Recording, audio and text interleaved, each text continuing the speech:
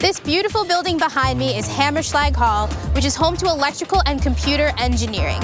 An interesting aspect of Hamerschlag Hall is the rotunda up top, which is actually a cleverly disguised smokestack.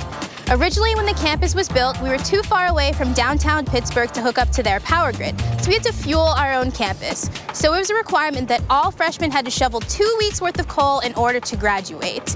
And an interesting twist of fate, these dirty coal rooms turned into 97 to 99% dust and particle-free clean rooms and are where we manufacture a lot of our computer hardware and computer chips.